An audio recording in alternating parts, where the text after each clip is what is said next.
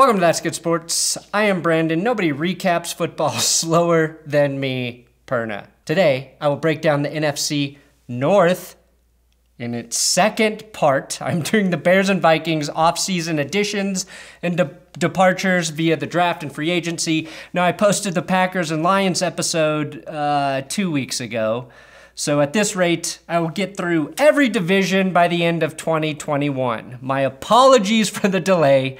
I know some of you were asking when the hell I would get to this episode. I said it would be up two weeks ago, but here we are. Now, in the present moment, it is coming into your fucking face.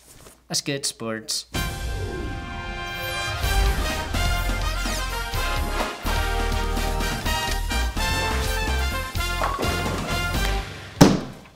Please subscribe to this YouTube channel. I do football news videos here.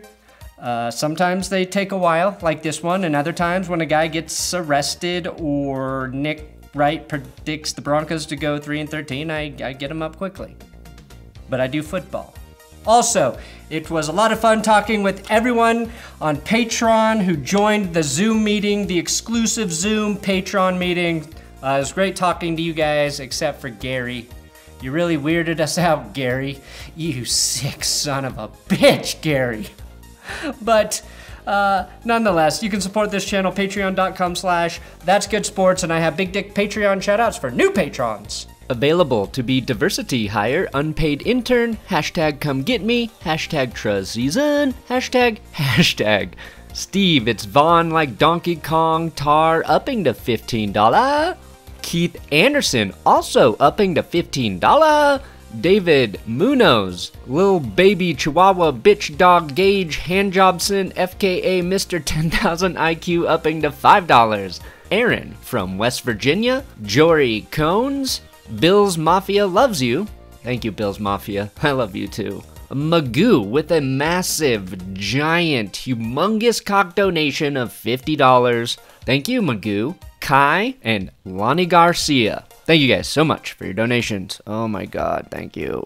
Okay, let's start with the Chicago Bears. The Bears set themselves up perfectly to compete five years ago between their choices in free agency and their lack of first round draft picks and their lack of direction. A lack of direction that can only be matched by the LA Rams design department. Sorry in advance, Adam Rank. Chicago was perfect last season though at 8 and 8, 4 and 4 at home, 4 and 4 on the road with one bullshit win against the Broncos. The Bears were not bad enough to shame and not good enough to praise. Again, the perfect place to be as an NFL franchise, especially when you're wondering if your bisky is indeed true. Now the Bears free agent uh, key losses and signings were they were these.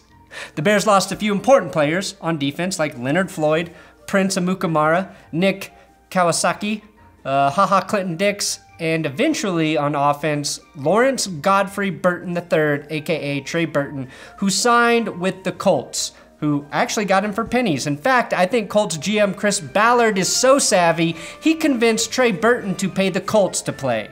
First player to pay to play since Vontae Davis quit at halftime and had to give all of his signing bonus back to the Bills. Instead, the Bears opted to pay older players like my very own Danny Trevathan, Robert Quinn, who they paid $70 million, and Artie Burns, who's likely maybe just a little bit of a downgrade from Prince Amukamara. I mean, Burns has famously been a key member of a terrible Steelers secondary and was hurt most of 2019, but I get what they see in him. He is young at 25 and did have an impressive rookie season back in 2016 with three picks and 65 combined tackles and a sane Antonio Brown on the Steelers offense. They also poached offensive line help from the Seattle Seahawks and tackled Germain Ifedi, which is like trying to stay healthy by touching all of the toilet seats at your local hospital with your tongue. On offense, the Bears added Nick Foles to compete with Mitch Trubisky, and whichever one wins gets to throw to Ted Ginn and Jimmy Graham. A bunch of gin and a few grams is what most Bears fans will need to make it through the season. My official prediction. Might as well throw in uh, Dallas Clark and Percy Harvin. Uh, Graham was their choice when Chicago lost a bidding war for tight end Austin Hooper, which is like going to Chick fil A on a Sunday, realizing it's closed, and eating expired chicken from the back of your freezer. What doesn't kill you only gives you foodborne illness, which is how I imagine Bears fans again will feel every time they hear the names Watson and Mahomes for all eternity. Bears fans have also, justifiably, ridded all public libraries of any Sherlock Holmes books. It sounds too much like Mahomes and Watson and is a reminder of the one case their team can't solve quarterback. Now, the Bears' draft grade. Collectively, they get a pass, a passing grade.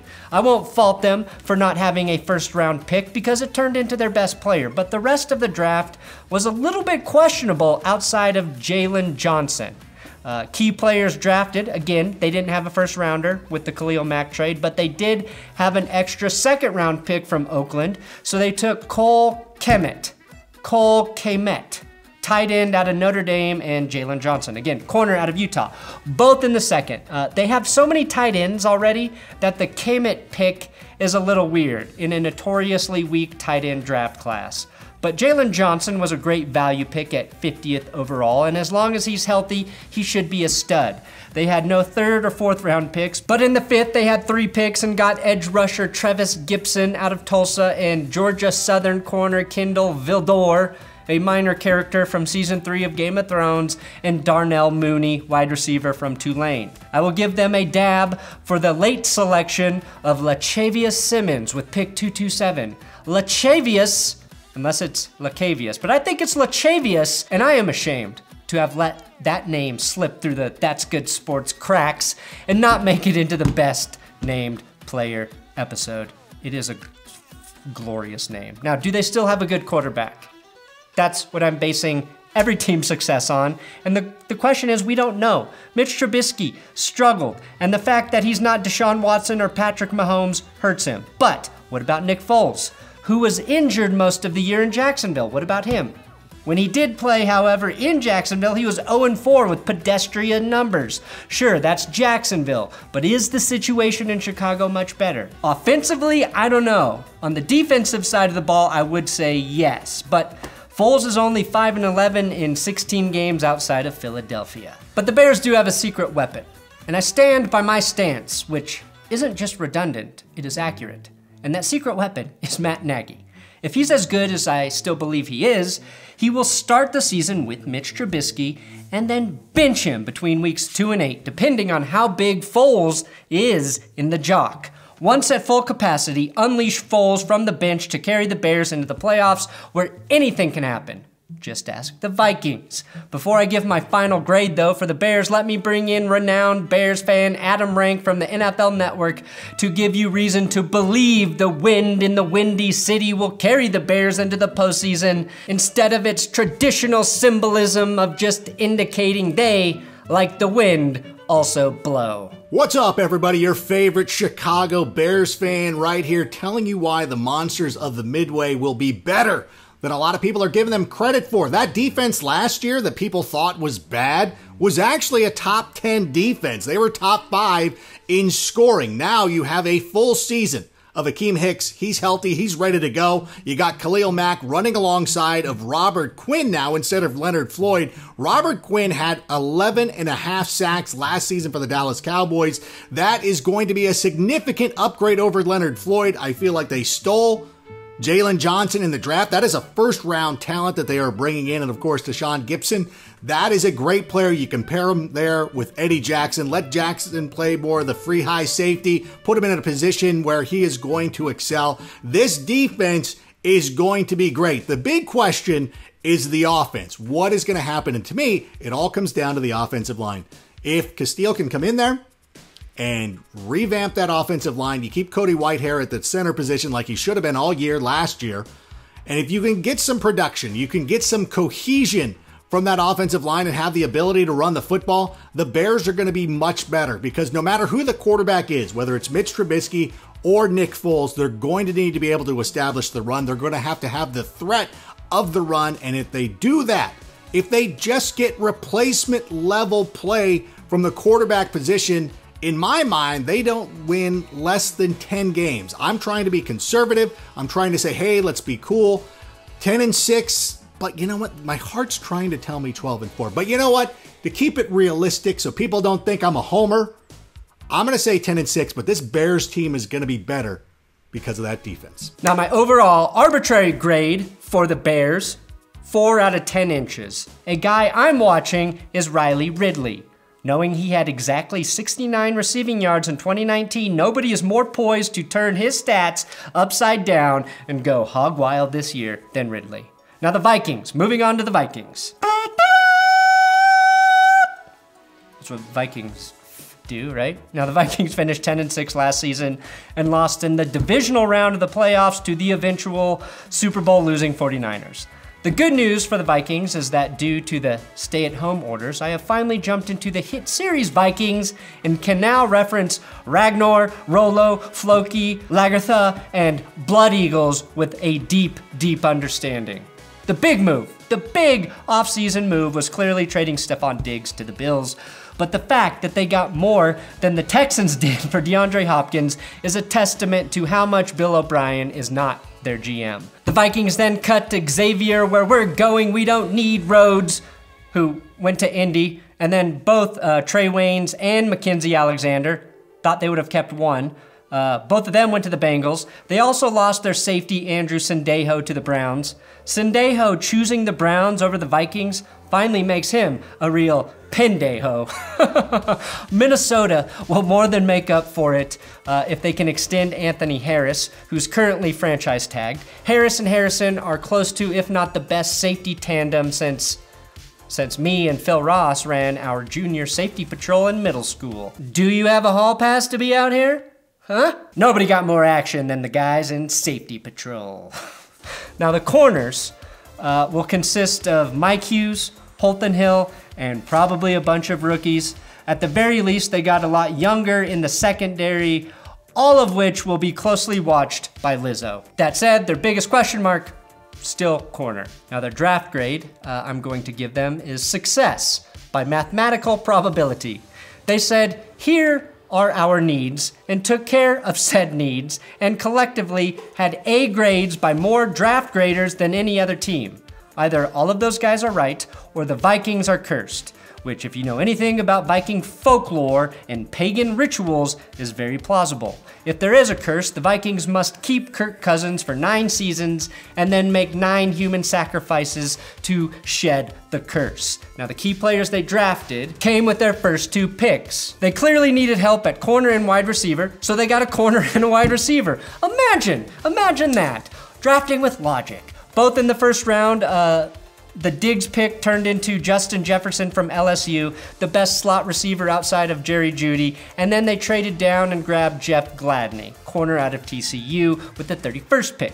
The Vikings entered the draft with the most picks, but then in the third round, they traded with the Saints. Wait, no, I said that wrong. They robbed the desperate Saints of four picks with the third round trade. Minnesota added 15 players through the draft in total. Minnesota turned their third round compensatory pick into fourth, fifth, sixth, and seventh round picks, which turned into picks James Lynch, Harrison Hand, Blake Brandel, and Nate Stanley. One of which will be the sole reason the Saints lose again to the Vikings in the postseason.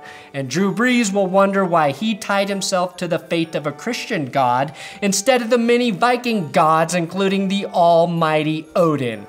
Odin, probably the name of another one of the fucking players the Vikings drafted. So, the big question do the Vikings still have a good quarterback? They do still have a good quarterback. Not a great quarterback, but definitely a pretty dang good quarterback. Kirk Cousins got an extension from the Vikings, which will keep him in Minnesota until 2022, even though zero of his salary is guaranteed in 2022. What I'm curious, though, is to see how well the Vikings offense functions after losing coordinator and part time male model Kevin Stefanski to the Browns. As someone who knows Gary Kubiak's offense very well, I think you need the injection of creativity from guys like Stefanski to make it work like it did in 2019. I love Kubes, but I think some of his offensive philosophies date back to the actual time Vikings ruled the northern seas. I love the draft pick of LSU wide receiver Justin Jefferson to replace Diggs' production. Uh, if he's not ready to go, though, as a rookie, watch out for Colorado's own Olabisi Johnson to have a breakout second year, or son of Don Beebe, Chad, who averaged 35 yards a catch with his two receptions in 2019. You come here for the elite wide receiver stats I dig up, don't you? Now, my offseason grade or score for the Vikings it's three skulls and one new wooden boat. Your secret weapon, Minnesota, is Britton Colquitt. That signing will pay off in the long run, and if offensive lineman Ezra Cleveland is as good as many believe he will be in the NFL, that might be the sleeper pick of the draft to help a slowly improving offensive line. If I am forced to make a prediction, I think the Vikings will win the division. I think they got a little bit better, while the Bears feel like they stayed about the same, and the Packers will take a step back after having a season where they really overperformed or outperformed with the overall talent they had on the roster, and we know they did nothing to upgrade that. But I say that cautiously because you could argue that Aaron Rodgers and Matt LaFleur in their second season together take a big leap forward. The Lions and Bears could swap spots as the worst and best average team in the division, but I think two teams from the NFC North make the playoffs, and I think that will be the Vikings and the Packers. No surprises here. Thanks for watching another episode of That's Good Sports. I promise I'll be more timely with the rest of the divisional recaps as this weird, weird football offseason moves forward. Twitter, Instagram, at Brandon Perna if you want to talk shit to me there.